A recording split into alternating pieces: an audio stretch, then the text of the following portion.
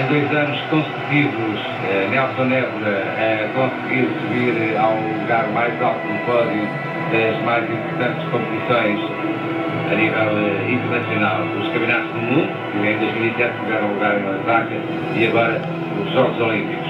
E se campeão do mundo, Nelson Nebra poderá ser só por eh, dois anos, porque para o ano já há mais campeonatos do mundo. Campeão olímpico, ele vai ser durante quatro anos. Vamos então ouvir a portuguesa.